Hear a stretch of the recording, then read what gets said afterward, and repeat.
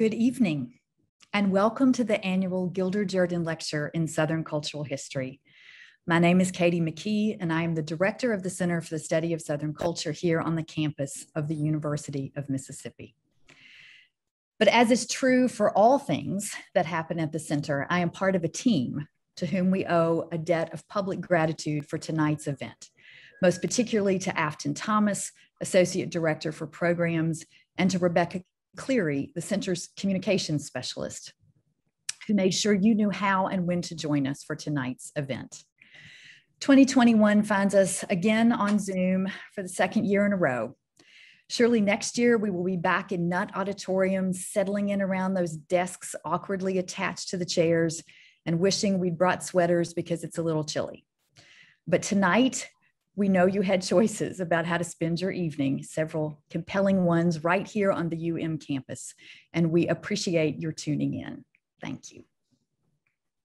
The Gilder Jordan Lecture is the result of a long-standing partnership organized through the Center for the Study of Southern Culture.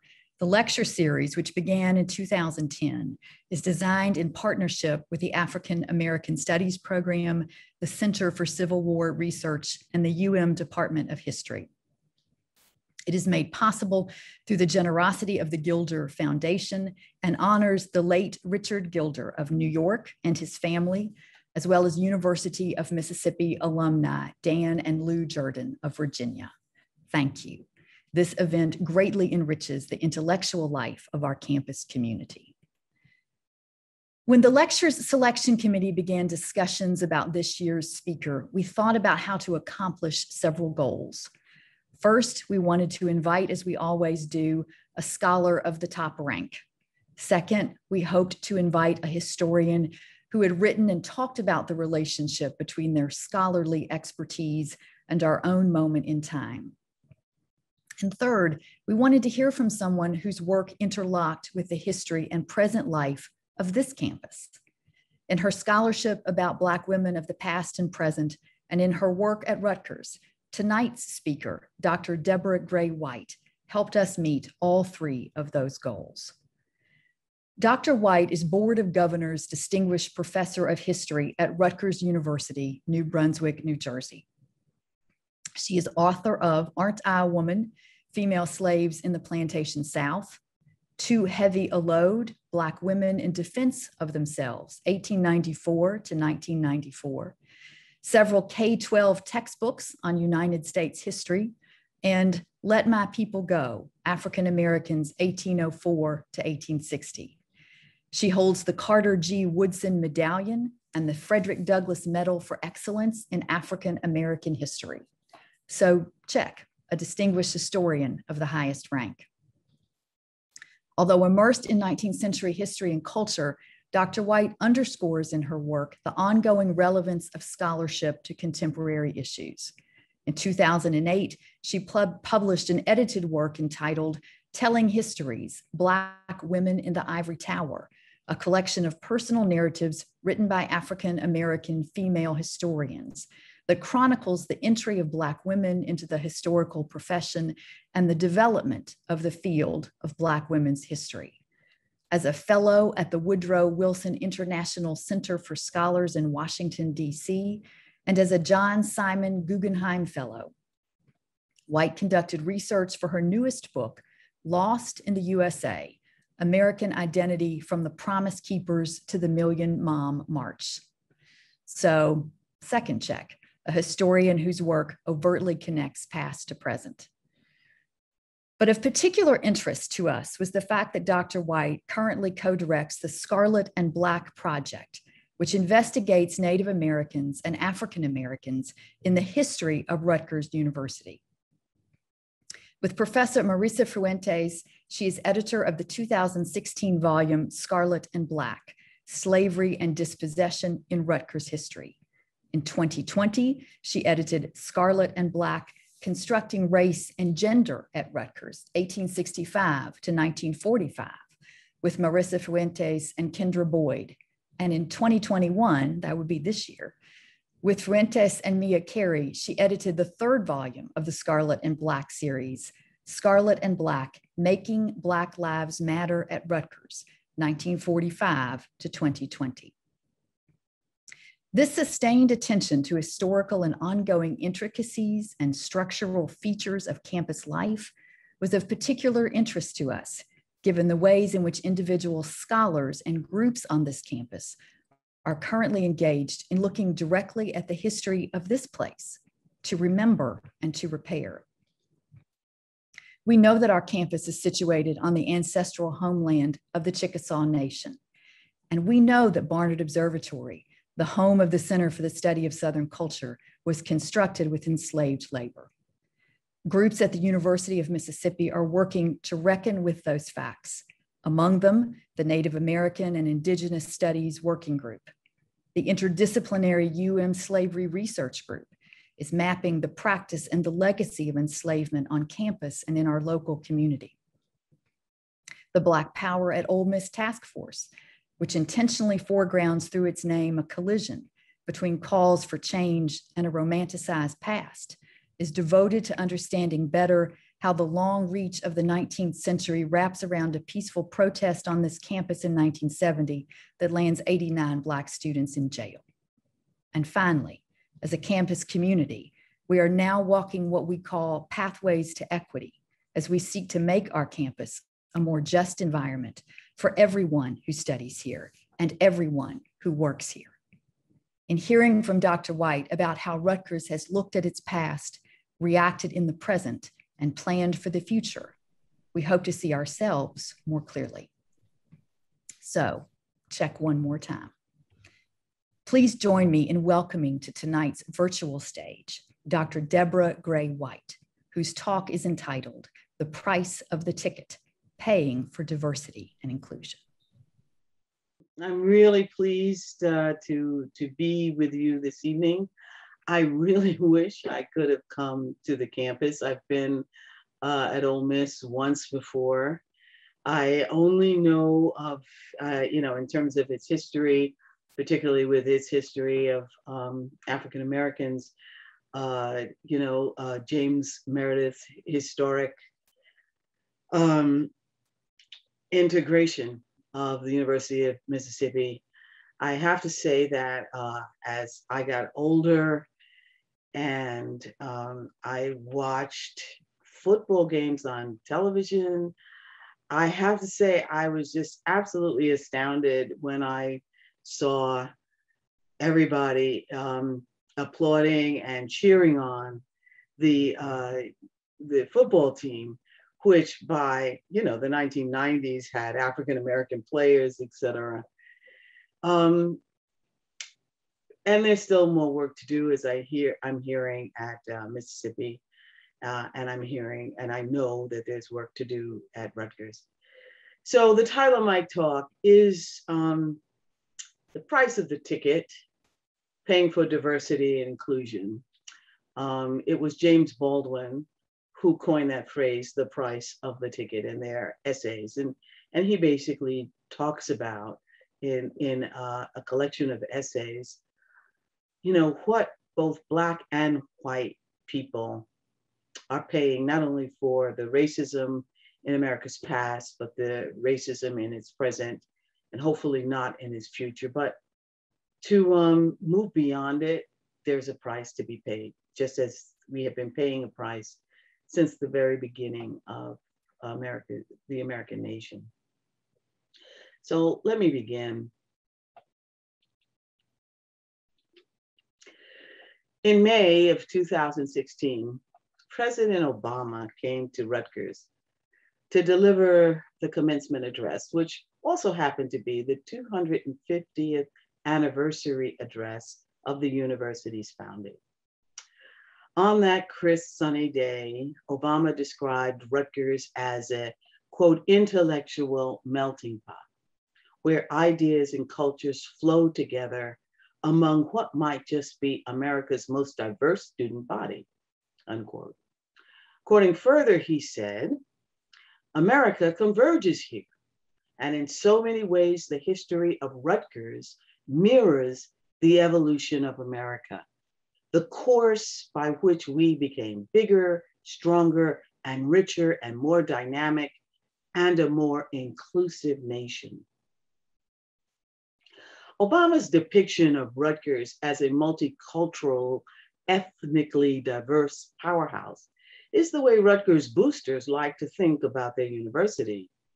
In fact, Rutgers' website uses the US News and World Report and the Best Value College's assessment of Rutgers Newark as the most diverse school in the nation as a recruitment tool to attract students. In other words, Rutgers takes its diversity to the bank. It attracts students with its diversity. But it wasn't always this way. Listen to Vicki Donaldson's depiction of what Newark's campus was like in 1967 when she arrived on this white campus that was walled off by a fence to separate it from the predominantly Black neighborhood of Newark that surrounded it. Quote, when I came onto the campus, all the walls were white, all the faculty was white, all the students were white. And sometime during that two weeks, uh, I ran into at least one other Black person who was part of the kitchen staff. She was there for freshman orientation. And then about two weeks in, I was walking across the campus and I saw a skinny brown man. It happened to be Richard Roper. And he was the first person that I had seen who was Black. It was that stark. These words were spoken in 2019 by Vicki Donaldson, one of the quote unquote liberators who occupied Conklin Hall in 1969, a Black student occupation that marked the beginning of Rutgers' journey towards diversity. The skinny brown man who she spied, Richard Roper, was president of the campus chapter of the NAACP. His recollection of the beginning confirmed Donaldson's. According to Roper, 1967 was the year when Black students at Rutgers Newark organized a sit-in that ultimately sparked change at Rutgers. Said Roper, we were ready to move and to make a big noise in the process and move they did. They created the Black Organization of Students, took over Conklin Hall, and made demands on the administration. Actions like these were repeated on the Rutgers, New Brunswick, and Camden campuses. Black students, with the support of white and Puerto Rican students, made deliberate and intentional efforts to change the culture, the curriculum, the student population, the faculty, and administration. They did so knowing that it came at a price. They risked being expelled. They risked going to jail. They risked assault by the police. Some lost their scholarships. Some were disowned by parents and relatives who did not endorse their revolutionary stance. But they understood that change came at a price, that it was not free. Indeed, there's been a lot of change at Rutgers. But in 2015, fully 46 years later, many Black students thought there was more to do. Walking across campus, they saw students, they saw statues of Dutch founders, the people who they knew nothing about, except for Paul Robeson, a Black activist who, who Rutgers only reluctantly embraced there was little evidence that Black people had contributed anything to the college or to New Jersey for that matter. These students, and let me repeat that, students enlisted the New Brunswick chancellor to do what many colonial colleges were doing. We call them colonial colleges because they were um, Rutgers, like Harvard and Yale and Princeton, uh, Columbia. They were created during the um, colonial era. What they were doing was exploring their university's history with slavery and also slavery's legacy. It was their belief, these students believed, that understanding the past would help them and the university go forward. They believed as I do, that recalling, recounting, and remembering are part of the process of reparations. Yeah, I said that nasty word reparations. It's the price of the ticket, a ticket to a more inclusive, a more fruitful and rewarding future for the university.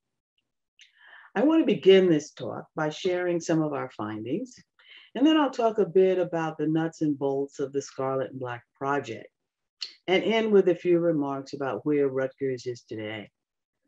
Um, by the way, scarlet and black are the colors that Rutgers uses to represent itself to the nation and the world. Here, with this project, we use the colors to signify something else. The blood that was spilled on the banks of the Raritan River by those dispossessed of their land, and the bodies that labored unrecompensed uh, so that Rutgers could be built and sustained. What we found. It's no secret that Rutgers founders were slave owners, though that fact comes as a surprise to many New Jerseyans who believe that slavery was only a Southern phenomenon. For example, in September 1749, the slave ship Wolf left New York City for Africa, where it would troll the West Coast, eventually buying and imprisoning 147 Africans, most of whom were children. Before it returned to New York in May 1751, with its human cargo packed like sardines in its hold, it had littered the Atlantic Ocean with 81 dead black bodies. Again, most of them children. They had succumbed to the vessel's diseased environment, particularly the conditions that allowed 12 to 13 inch worms to incubate the stomachs and intestines of its youthful captives. On May 21st, the surviving 66 were auctioned off for sale by Philip Livingston, the Wolf's principal investor slash slave trader merchant.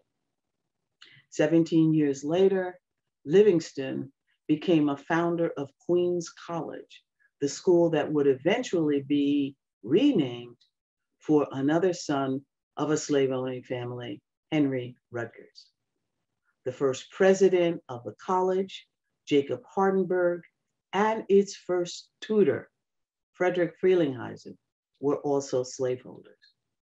In fact, Jacob Hardenberg's family owned Baumfree and Mama Bet, the parents of Sojourner Truth, the noted abolitionist and women's rights advocate.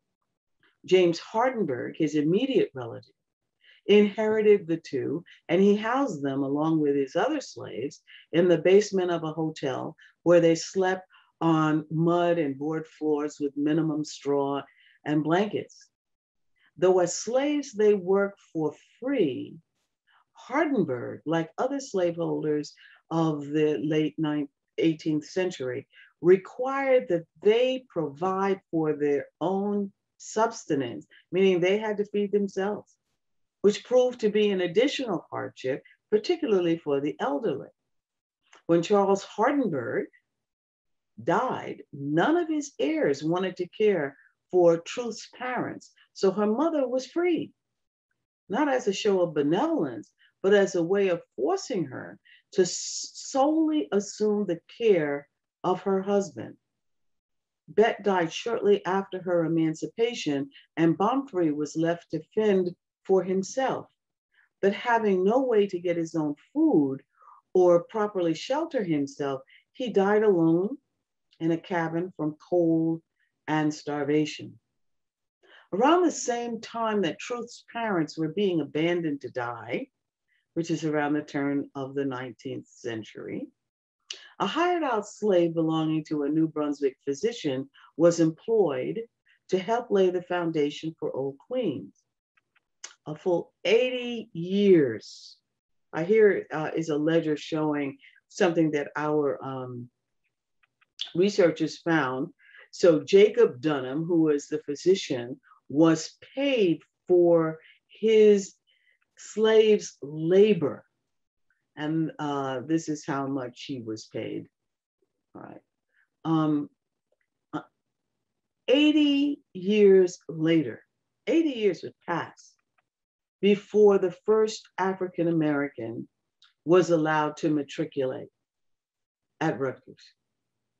Now, we don't skip just from Will to Carr, but we tell the story of race making at Rutgers, how Rutgers administrators, through their leadership of the American Colonization Society, advocated for sending free Blacks back to Africa rather than letting them stay and become citizens.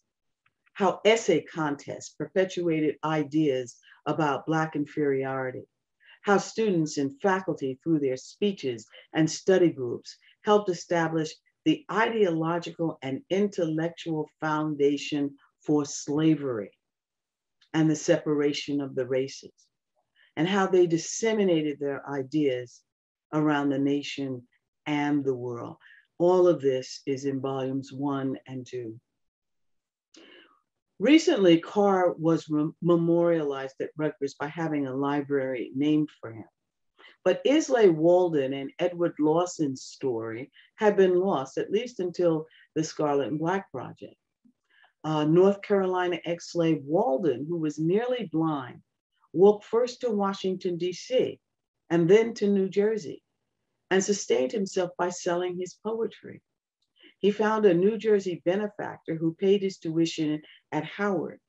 He was allowed to matriculate at the New Brunswick Theological Seminary, which is Rutgers' sister affiliate, which shared land and faculty with Rutgers College, only because they expected him to return to North Carolina to work among his own people. They explicitly said he can't stay in, in, in New Brunswick. In fact, when a Yale article reported that Walden had been admitted to, to, to the seminary, the Targum, Rutgers newspaper, rebuked Yale for its quote, tasteless and disparaging reporting that had sullied Rutgers' reputation.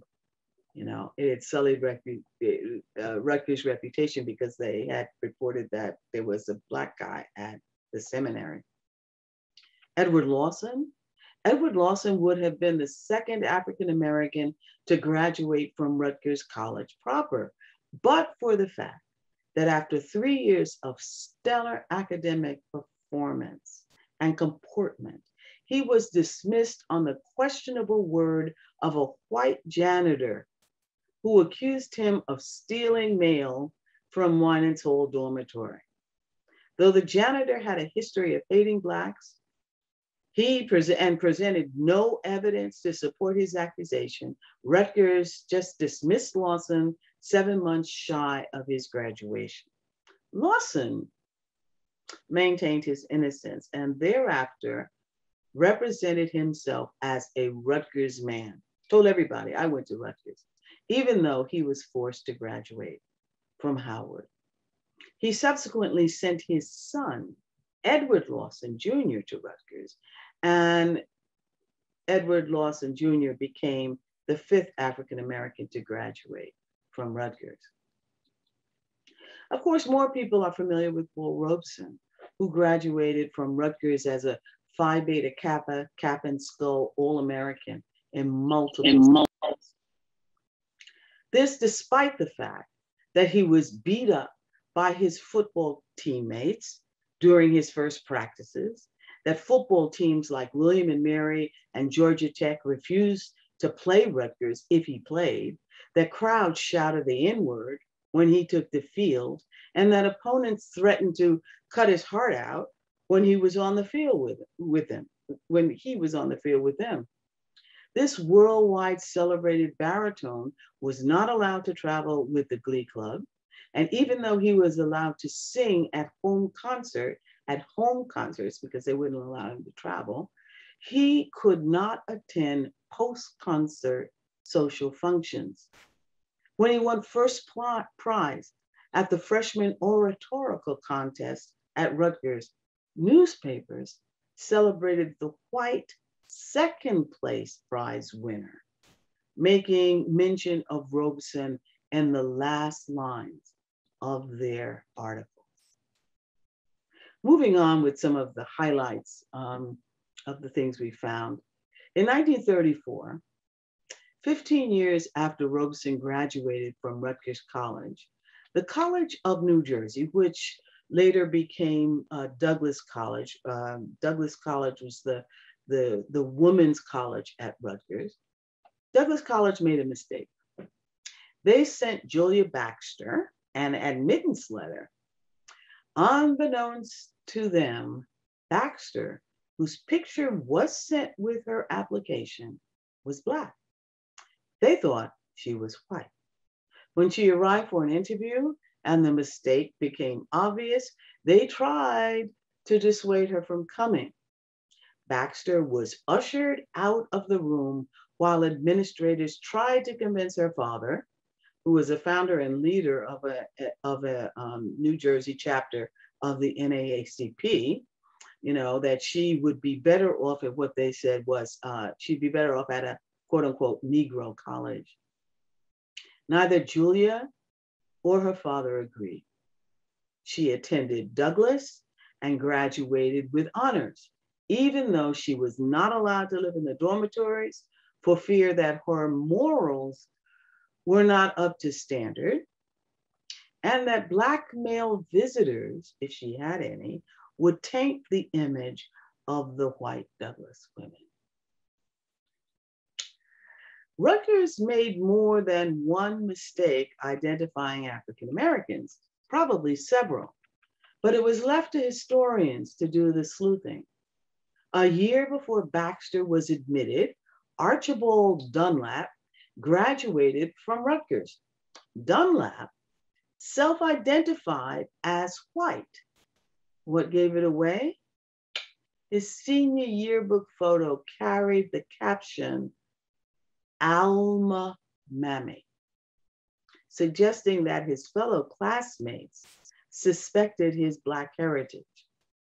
And although Veronica Henrickson hailed from a self identified Black family, she spent her years at Douglass as a white commuter from Plainfield. It, this is uh, Veronica Henrickson right here. Henrickson and Dunlap were among the handful of Blacks who attended Rutgers and Douglass College before the baby boomer generation or the desegregation generation push, pushed the doors of Rutgers open for good. Volume three of Scarlet and Black, of the Scarlet and Black Project, covers the student occupation of Conklin Hall, the evolution of the African American Studies program at Rutgers, and the EOP program. In many ways, volume two and three speak to the legacy of slavery, what had to be undone and redone in order to change and remake Rutgers. Um, I would say that one of the things that uh, we, we also found, we went through all of the yearbooks and some of the caricatures of Black people, some of the photographs. We also found a, um, in, in New Brunswick proper, a, um, um, I guess we, we found the, the New Brunswick Rutgers Klan uh, and we have pictures of their their meetings. Um, so there's there's a lot that we cover, but we also um, go all the way up to 19. Um, we we go to the to the present, and we cover the remarks in 1994 uh, that was made by um, President Lawrence, who said um, who called Black Americans a disadvantaged population. He said that we did not have the genetic her hereditary background to do well on the SATs. This is in 1994. And we also cover um, Imus's, Don Imus's remarks, wherein he characterized the Rutgers women's basketball team as rough, before calling them nappy headed hoes. In covering this, the Scarlet and Black project comes full circle back around to remarks made by some of the founding fathers of the university, most notably Theodore Frelinghuysen. In 1850, when he was vice president of the American Colonization Society, he testified that, quote, Blacks were a, uh, a, depraved and separate race who were licentious, ignorant, and irritated. In pointing out the similarities between the remarks of Frelinghuysen and Lawrence, we don't maintain that things had not changed at Rutgers, but we do show how some ideas don't change and how negativity about African Americans can still impact university policy. And now I'm just going to switch gears for a minute and, and um, talk about the nuts and bolts of the project. How do we do it? Um, how did we research, write, and disseminate our knowledge, produced three edited books in the space of about four and a half years? Any of you who are who are academics, you know that it can take four and a half years just to get a publisher to, uh, to, to publish your book even when it's already written. Um, so it was really something that we were able to do this. Um, this project got started in 2015, the very end of 2015. So as I noted before, when I talked about President Obama coming to deliver the 250th anniversary uh, address, 2016 marked the 250th anniversary of the founding of Rutgers University. And after that meeting that Chancellor Richard Edwards had with African American students who told him about their feelings of alienation on campus, the Chancellor formed the committee that had the unwieldy title, quote, the Committee on the Enslaved and Disfranchised disenfranchised population in Rutgers history. Mind you, the committee was formed and announced before they had a chair. So while walking my dog, I got a call from the chancellor, and he asked me if I would chair the committee. As I said to some graduate students this morning, always take your time in saying yes to anything. And I did. Uh, but I said, uh, I, I, gave it at least two days, and I said that I would, um, I would do this. And I'd like to say that there was a lot of planning that went into this project. And to be honest, there was more resolve and just dogged determination than endless planning. I mean, we just really didn't have an awful lot of time because they wanted a book in a year. Composed of administrators from different areas of the university, and undergraduates and graduate representatives, this committee would have been meeting today on how to accomplish our goal of uncovering this history. Uh, not the least of the issues was the fact that everyone who had been excluded from Rutgers history wanted to get in on this. They wanted their history told. And I, that's not a bad thing, but it's a rather impossible thing to do with just one project.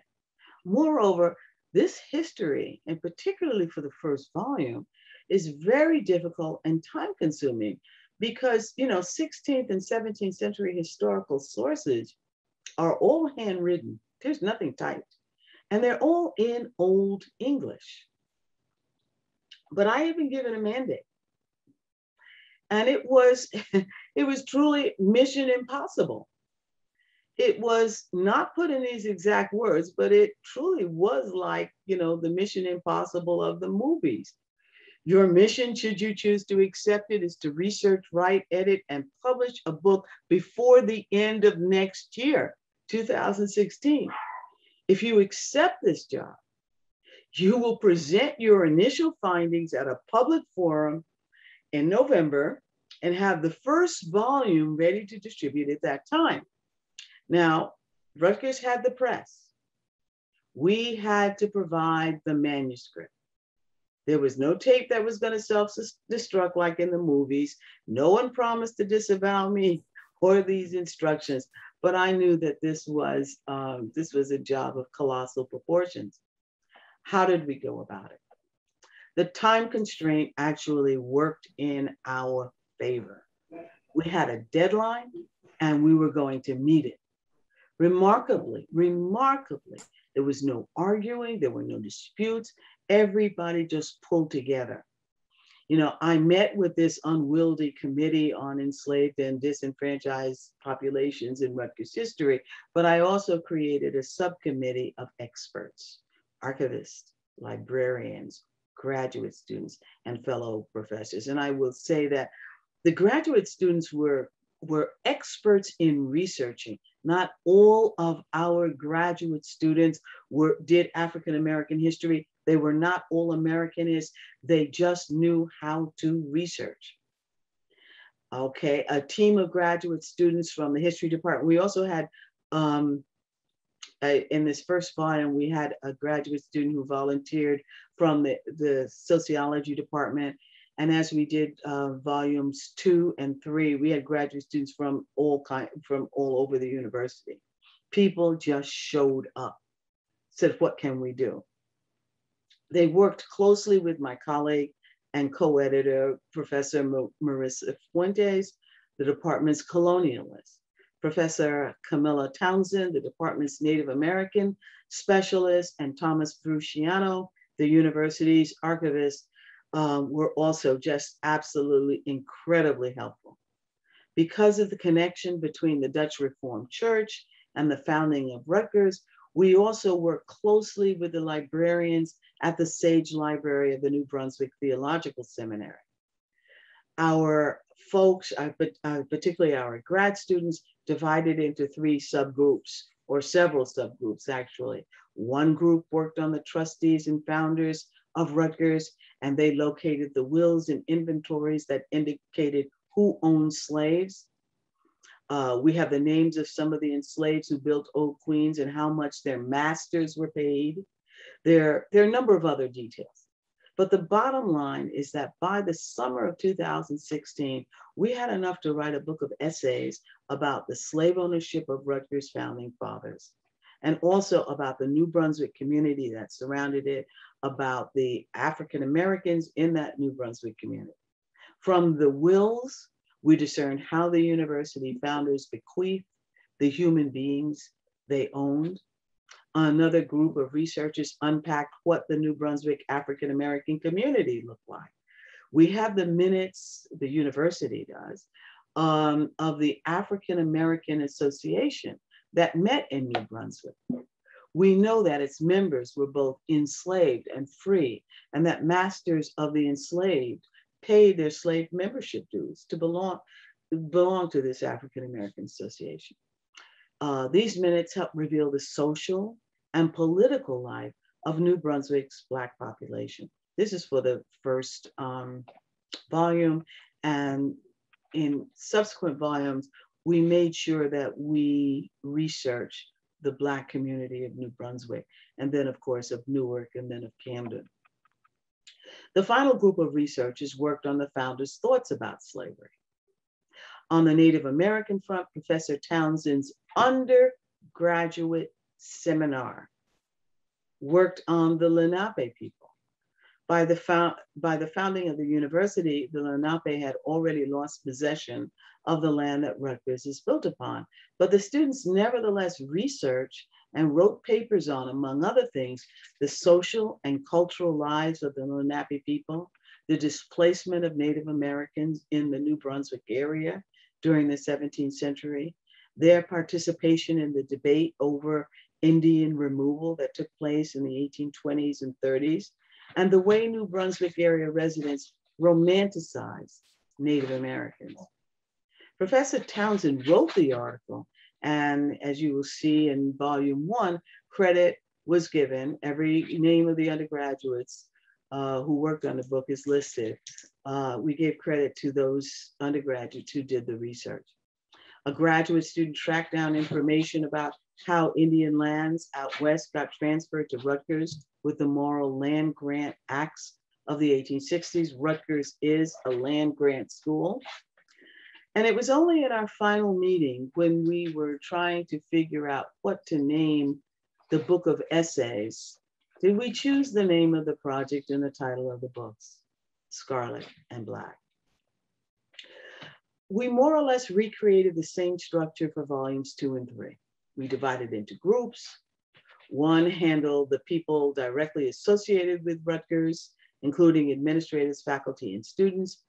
Um, of course, as the century, 19th century, and then uh, forget it, the 20th century grew on, move, uh, grew as, as, as Rutgers grew as time passed, okay?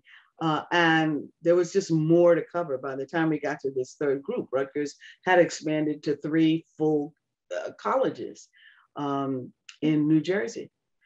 But we always managed to focus on the intellectual milieu, the curriculums that were covered, the essay contest that the university held, the racial climate that was fostered.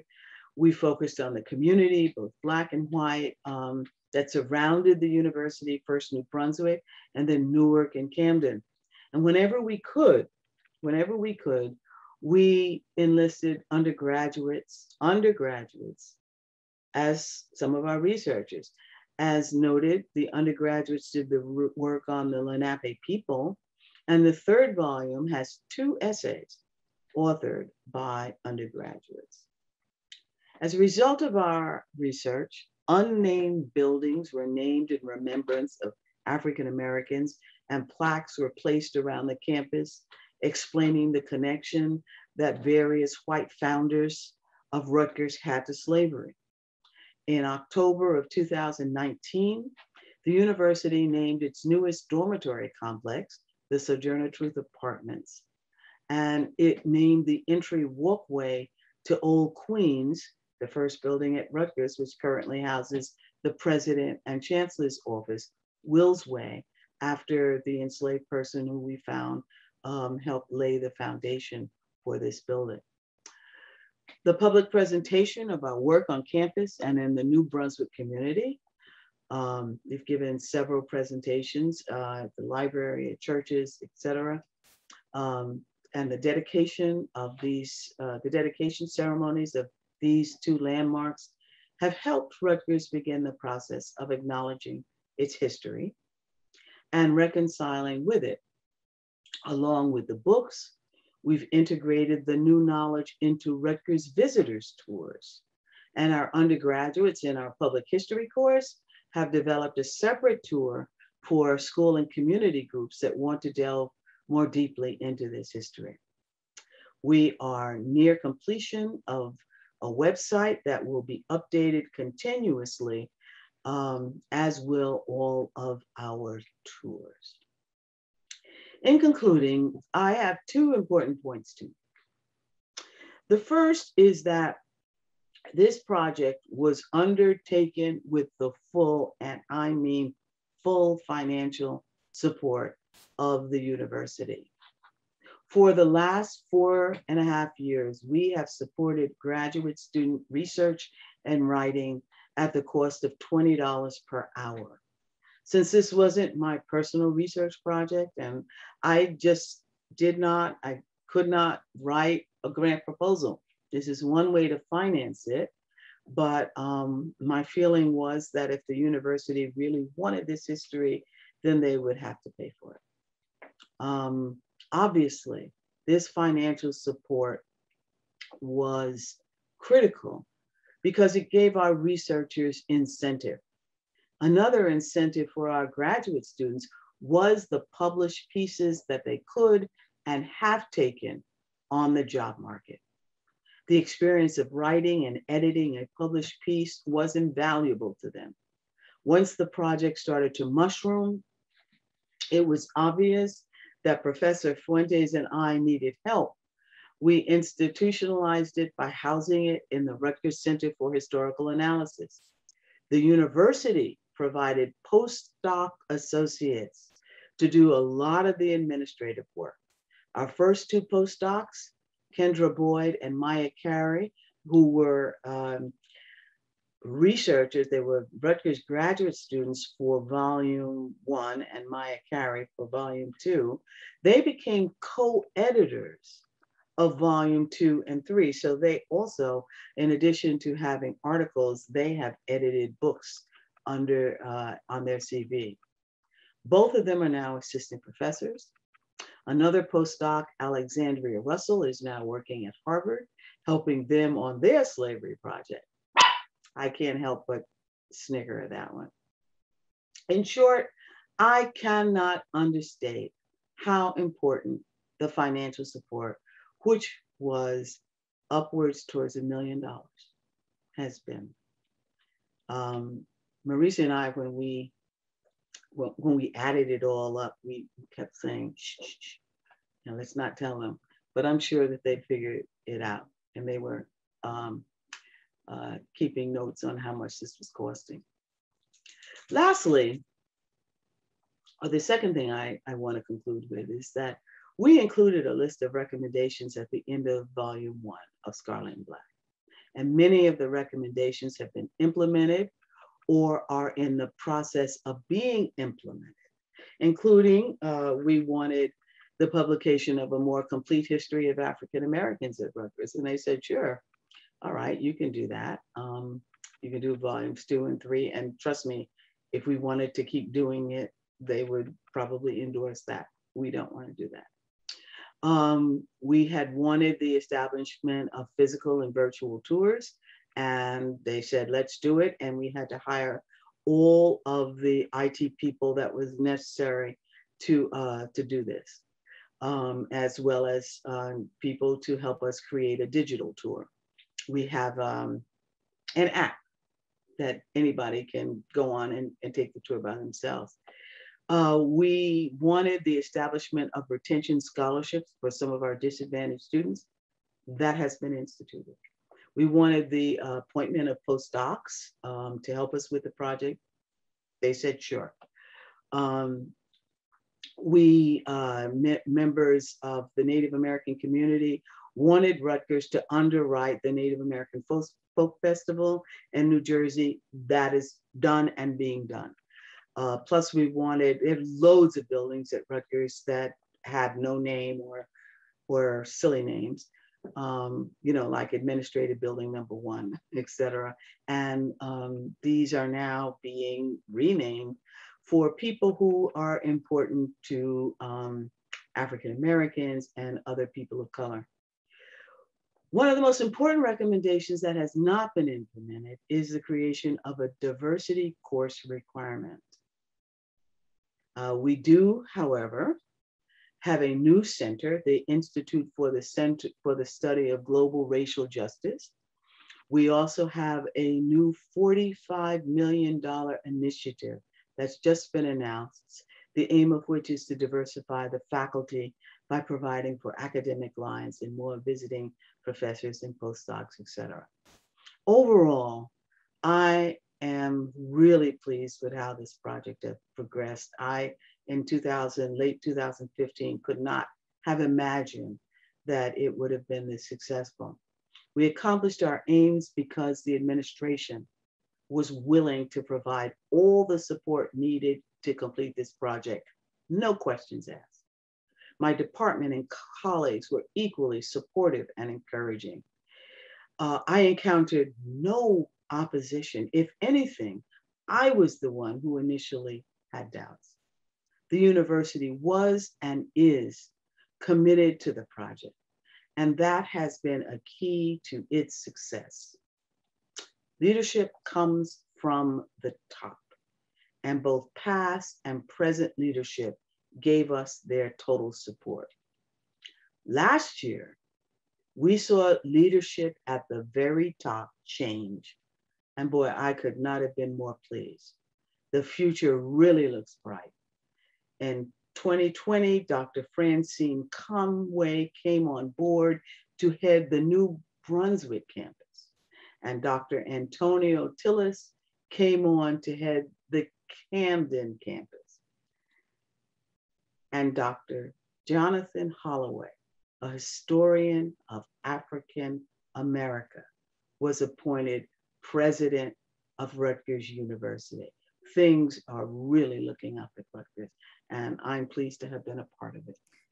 Thank you so much, Dr. White. Um, I don't know if you can hear the applause from Mississippi up to New Jersey, but I think that uh, there is a warm feeling headed your way for sure.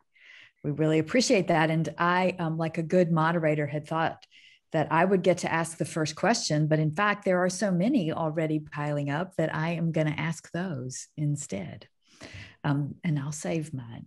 So the first question um, comes from Noel Wilson, who asks, as an outgrowth of this project, is there, initi- is there an initiative to recruit Native American students to Rutgers?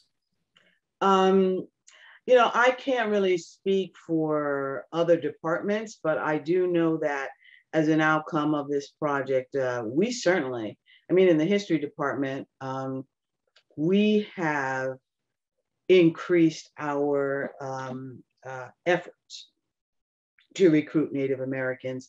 And across the university with this new $45 million um, initiative, uh, I can only say that Native Americans, I mean, I say I'm not an administrator, okay? I really am not.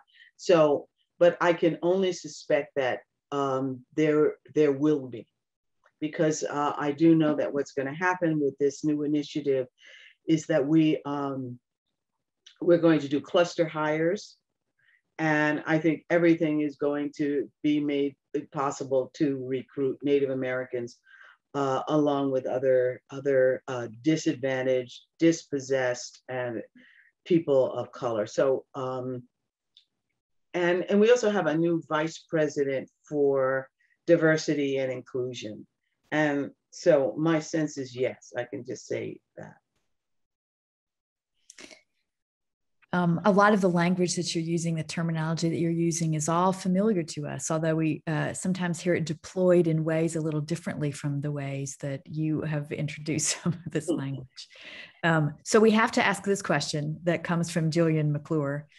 What kinds of resistance to the Scarlet and Black project did you encounter from within the university or from community members and alumni? Well, as I said, um, resistance, I didn't encounter any resistance. Now, that is not to say that there was no resistance. Um, the people who I went to for money, which went all the way up to the chancellor at the time, the chancellor was uh, Richard Edwards. And, you know, I just asked um, for this and that and this and that. I will say this though. Um, there has been resistance from many of the families of the founders, you know, the descendants of the founders, who, you know, they they just, um, and particularly I can just say the Frelinghuysen family um, wrote and protested, etc., because they they they didn't really want us to um, to talk about uh, about the Frelinghuysen um, in the way that we were were doing it, and um, so I I will I I can say that I know that from outside of the university, there's probably a lot of resistance when we dedicated Will's Way and when we dedicated the um, um, the, the Sojourner Truth Apartments. Uh, I asked the campus police for more security. They hadn't even thought there was going to be any needed. And I'm just like, oh no, I don't, I'm not going to stand up there and, and talk about this uh, unless I know that you've um, blocked off the streets, etc. So it's not like I wasn't aware that there would be resistance. I will say that I was able to work on this project pretty much resistance free. And I'm, I'm not I'm not going to say that uh, Rutgers is such a liberal place, you know, an accepting place. I'm only going to say that, um, and and actually, I will say this in some of the classes like we have um, the Rutgers Public History class for undergraduates. I know that the one of our professors met some people in that class who um, protested having to do, you know, doing the plaques, but that's part of public history. And, you know, in the end, um, she, she, they wound up doing the plaques. And so um, I, I, I can say that uh, I got in and out without having to experience an awful lot of resistance, even though I know it's out there.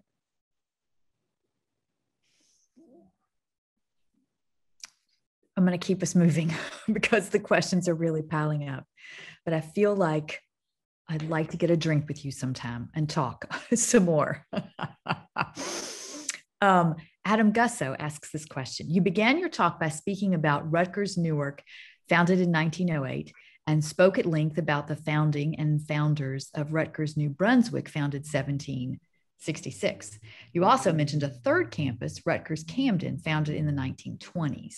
What sort of racial dynamics were at work when those two later campuses were founded in the first and third decades of the 20th century? Okay. Um, I'm not sure that those that I mentioned the dates of Newark. Uh, maybe um, uh, Newark and Camden. They were founded, I think, a little later than 1908, or at least some of the what happened with both Newark, Newark is a sort of a conglomeration of several schools that sort of came together and then they put them together and all of a sudden they became Rutgers Newark. Um, Rutgers Newark has an incredible history because Newark, Newark is a, is a predominantly Black city. And yet the university was predominantly white. There was almost no one uh, very, very, very few African Americans, uh, either in the law school that came to make up um, Newark. Um, so, and the same thing one could say with Camden. I mean, the city of Camden has an interesting, very interesting um, history in that, you know, after World War II, there was white flight. People left the city of Camden as many of the manufacturing uh, companies there either shut down or relocated to the suburbs.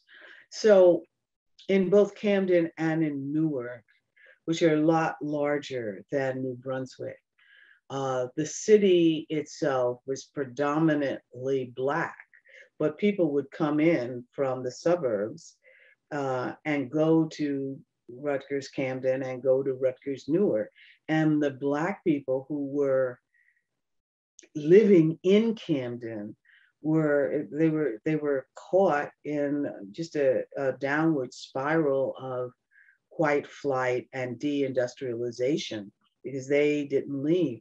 So both with Camden and Newark, their desegregation or integration or road towards diversity and inclusion were a lot more um, violent and a lot more um, um, combustible than one could say about New Brunswick. It's not to say that you know New Brunswick was was um, turbulent free, but in terms of turbulence, Newark was incredible, was incredibly um, well uh, uh, fractious and you actually had white people demonstrating when when Conklin Hall, when black students seized uh, Conklin Hall, uh, white students protested against it. Mm. And one of the things you'll find in chat in uh, in the third volume, the letters that were written to Mason Gross were horrible. They they threatened to to to to do harm, physical harm to Mason Gross just because he actually entertained the notion that maybe there was there was something to the protest and that he actually sat down and negotiated with these students and um, most whites at newark um, um, just disagreed and so uh, but mason gross one has to applaud his perseverance there because he insisted that, you know, well, we are part of the state university, and he did negotiate. And um, beginning with um, 1969 or after 1969, the EOF program um, uh, brought in more uh, Black and Brown students. Um, so I guess my that's a sort of a long answer, but the the the short answer is that Camden and Newark had um, a much more turbulent time moving towards diversity and inclusion. And you would not know it today. I mean, Nat, Nat and today you walk across Newark. I'm very seldom down at Camden's campus, but Camden is in, in South Jersey. Newark is a little further north of New Brunswick. But you walk across the campus and it's absolutely amazing um, to see the difference. But I would say that, um, as I, I, as I said in the talk, Newark's campus was walled off by a fence to separate the white campus from the black community surrounding it. And they got um, they got rid of that fence pretty quickly. We're not going to keep you here all night, but uh, we're going to see if we can get a few more questions in here. And in the interest of doing that, I'm going to start looping some of the questions together, question askers, and maybe not reading your whole thing but I'm trying to get everything done here. So um, we have a question from Robin about um, donor reactions to this project, and then a question from Laura about alumni responses mm-hmm. to the project. So maybe we could talk about those two things. You, you touched on this earlier, but maybe those two things in concert. Um, again, as I am not aware that that, that it's been incredibly negative. In fact, I think it's been relatively positive. And I think a lot of this has to do with the timing. So when volume one was rolled out, and when we did the November, now remember the date, November 2016, which was the public presentation of volume one, it was um, maybe three or four days after Donald Trump had won the election. And New Jersey uh, is a blue state. And even not to say that we don't have conservatives and Republicans, but there, um, there was a real outpouring of dissent against um, the election of Donald Trump. And the only thing that Rutgers could could could offer, you know, when people say, "Well, what are you doing? What are you doing?" Well, we had the presentation of Volume One. I have never seen. We had over a thousand people show up for the presentation of Volume One. We had our multi-purpose room with seats at least 800 people. And then we had two or three overflow rooms. So I'm thinking that um, the, the protest on campus against Donald Trump's election really coincided with the rollout of Scarlet and Black. Now, volume two was released in um, March of 2020. And right, um, so it's it's in May. It's uh, sure I you know I, I I can't remember all of these days, but almost in tandem with the killing of George Floyd. And then uh, one of the things that uh, we had already started with volume three, but because all of the um, all of the archives were shut down, my feeling was, okay, folks, we're going, since we can't go into the archives and you can't do your own personal research, we're going to finish up volume three so that when this COVID is over, you can go back to your own work. So, remarkably, um, volume three came out this year. So, in the middle of a pandemic, but also um, in the aftermath of demonstrations against police brutality. Um, so I, I really do believe that uh, I'm sure, I'm sure that there is a lot of dissent out there, but at the same time, I think there's more support than dissent. We also got Dr. Jonathan Holloway, and he took office January of 2020. He is enormously popular. He's also very popular with the state legislature. And to tell you the truth, whenever the university has any, you know, whenever they need to respond with, so what are you doing about diversity? What are you doing about inclusion? Um, what are you doing in this and this and this? What do they say? Well, let's see. We started with the Scarlet and Black Project, and that was something that Marisa and I noticed. It's like, okay, so we're getting incredibly good publicity here because the university is talking us up because we are the one tangible product.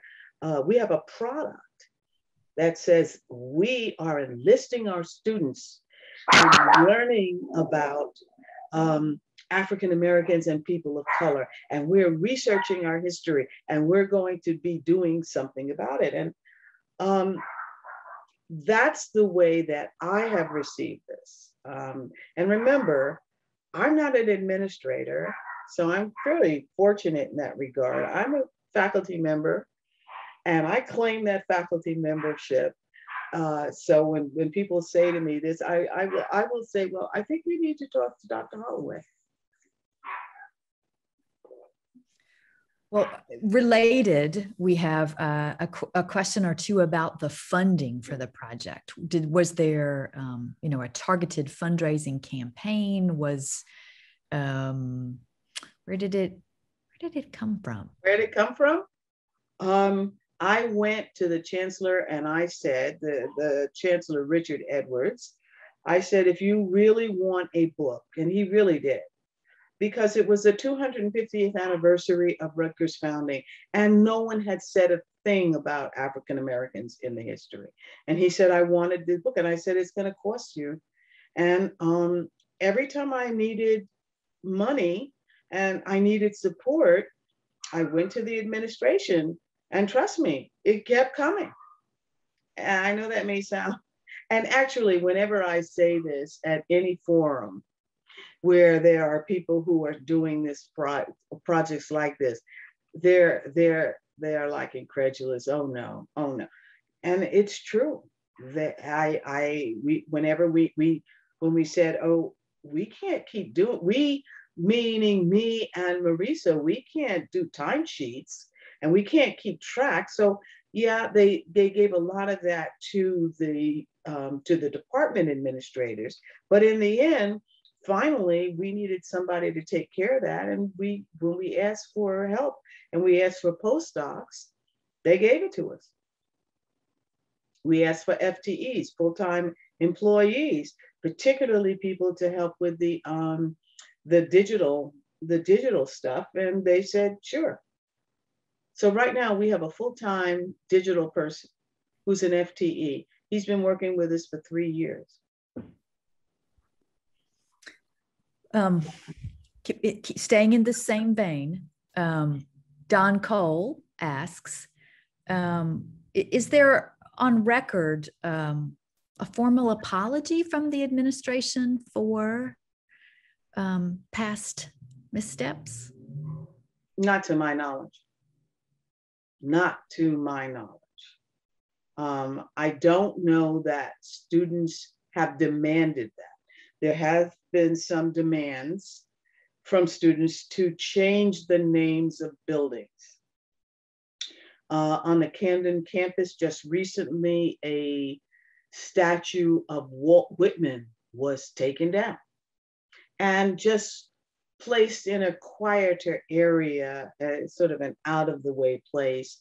Walt Whitman, having been the racist that he was, um, the student said uh, his place is not in front of the campus center. And so they moved it.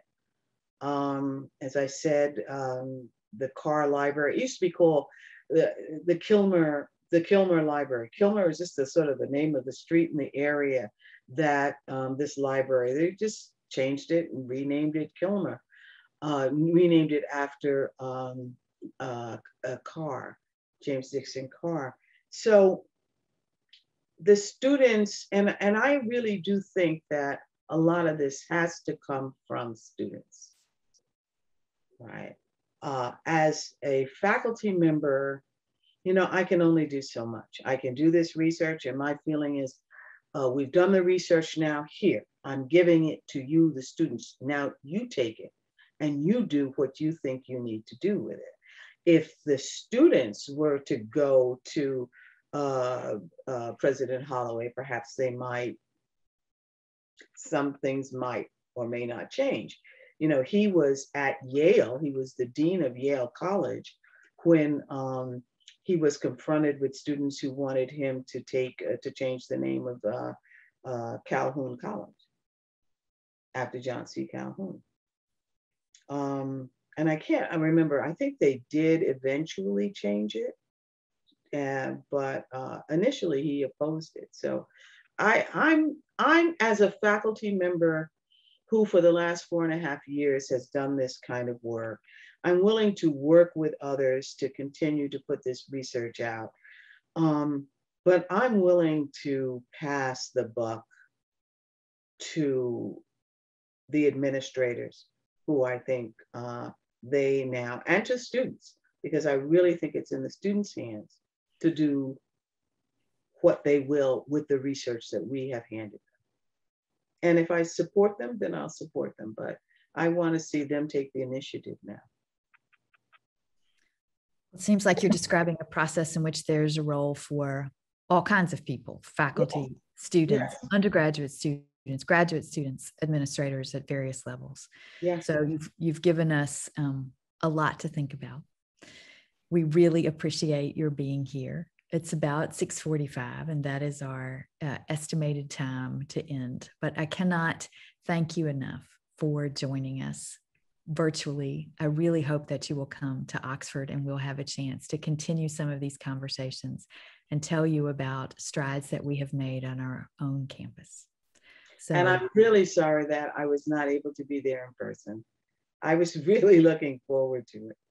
Well, uh, normally we would be taking you out for dinner next. So go make yourself a sandwich and we hope to see you again sometime soon. Thank you so much, Dr. White. All right. Thank you. Everyone who attended, thank you so much. Have a good evening.